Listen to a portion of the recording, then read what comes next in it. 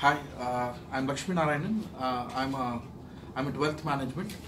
Uh, so I've already attended uh, level one training of uh, Mr. Subbu. It was fantastic.